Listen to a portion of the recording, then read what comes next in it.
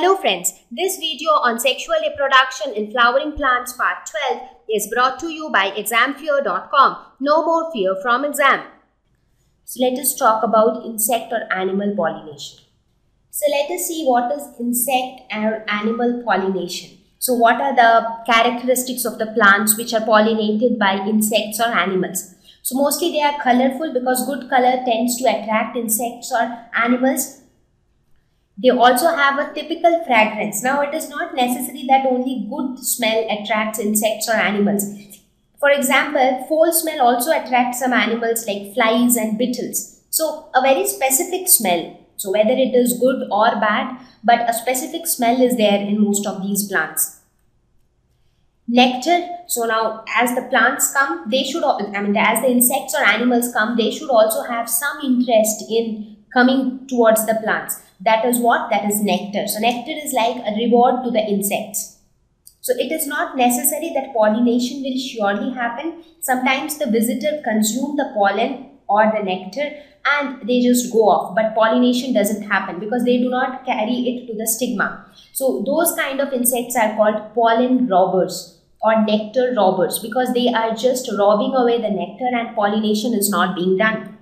Now what happens is that whenever the insect sits on the uh, flower, pollen grains stick to the body of the animals or the insects. Now when they go and sit over the stigma, so those pollen grains which were stuck to the body of the insect, they are released and pollination take place. So here you can see this is how an insect sits on the flower, right? So what will happen? The pollen grains will stick to the body of the insect. Now when the same insect goes and sits over the stigma, the pollen grains are again released and pollination takes place. So this is how insect or animal pollination take place. Now there is some special relationship between certain insects and plants and let us take the very famous example of the yucca plant and the moth relationship. So yucca moth relationship is a relationship which is of mutual benefit. So in the picture you can see the yucca plant, the white colored flowers are their flowers and the insect which is moth. It is it resembles to some extent a butterfly. So how do they share a mutual relationship? A relationship where both of them get benefited. Now the plant gets benefited because this moth flower helps in its pollination. So moth helps in pollinating the flower. That is how the plant gets benefited. But what is the benefit of the moth? So this moth deposits its eggs in the locule of the ovary of the flower. As I said, what is locule? The cavity inside the ovary. So these moth, they will actually deposit their eggs inside the locule of the ovary. So how does it benefit the moth? So the young ones are uh, remain protected and they get their nourishment and everything from inside the ovary. So that is their benefit. So both of them gets mutually benefited in this relationship. So let us see how exactly the uh, interaction between moth and yucca takes place. Now, male and female moth meets and they mate on the yucca plant. So, they these moths remain dormant and they remain under the soil. When favorable conditions return, both male and female moth will meet and they meet and they mate on the yucca plant. So when they mate on the yucca plant, after mating, the female is now ready to lay eggs. So what happens when the female is ready to lay eggs? So this female then goes to a yucca flower because it wants to lay its eggs inside the ovary of the flower. So it will go to a flower. So it will collect the pollen from there. How does it collect pollen? It has what tentacles. So here you can see the tentacles. So these are the tentacles and with the help of these tentacles it will suck in the pollen from the flower and then what will it do? Now when it sucks in the pollen, then it goes and reaches another flower. So now what happens is, let us suppose this is one flower. So this is flower number one. This is flower number one. This is flower number two. This is flower number three. So and they are all yucca flowers. So this is the male and the female. So the male and female mated here on this flower. So once they mate it here, now after mating the female will be ready to lay eggs. Now the female will suck in, what will it do? The moth will suck in the pollen from here. So it will collect the pollen from here. So the pollen grain is there with the female uh, moth. Now this female moth will then reach another yucca flower. So the female moth reached here. So now this female moth already has the pollen with it. So what does it do? It Now it is also ready to lay eggs and it also has the pollen. So it will lay eggs in the locule of the ovary. So here it will lay its eggs inside the ovary. After that, it will also deposit the pollen in the stigma because it already had the pollen. So what, what happens here, pollination is also done on the second flower, pollination is also done and laying eggs is also done. Right? After this, what does it do? After this, it will move on to another flower. Now, why it moves on to another flower? That is the next question. Now, this, this female moth might lay multiple eggs.